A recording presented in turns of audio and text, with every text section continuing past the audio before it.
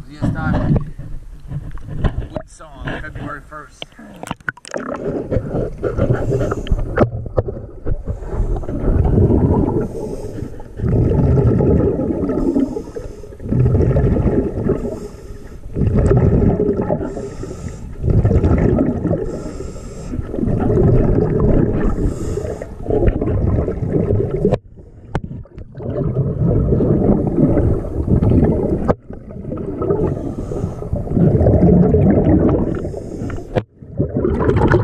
Thank you.